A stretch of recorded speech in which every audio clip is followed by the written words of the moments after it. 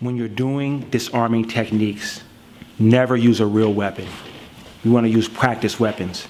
The second thing we want to remember when we're doing disarm techniques, do not have your finger inside the trigger guard. You want to have your grip on the bottom of the butt of the pistol. If my finger's inside the trigger guard, when he does the drill, I can break my finger.